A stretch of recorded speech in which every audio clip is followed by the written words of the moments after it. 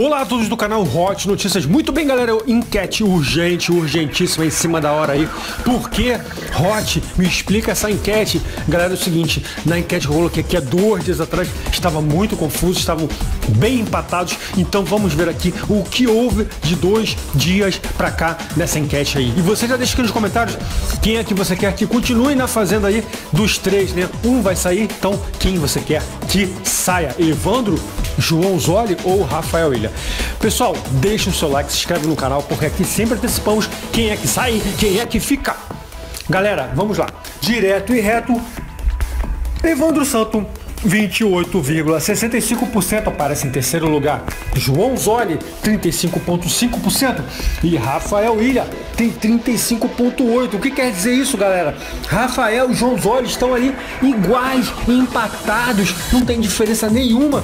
E o Evandro Santos é quem deve sair. Porém, uma ressalva, ele está com 28,6%, ou seja, aproximadamente 7% em relação aos dois da frente. Não garante nada, mas provavelmente quem vai sair é Evandro Santos, uma vez que João Zóia deu uma reviravolta imensa aí nesses últimos dias, tá certo? E aí, vocês gostaram dessa situação, deste momento que poderá acontecer? Hein? Comenta aqui. Evandro, seria o seu favorito para sair? Deixa seu like pro vídeo, se inscreve no canal. Notícia dos famosos, a Fazenda, aqui no canal Hot uh, Notícias.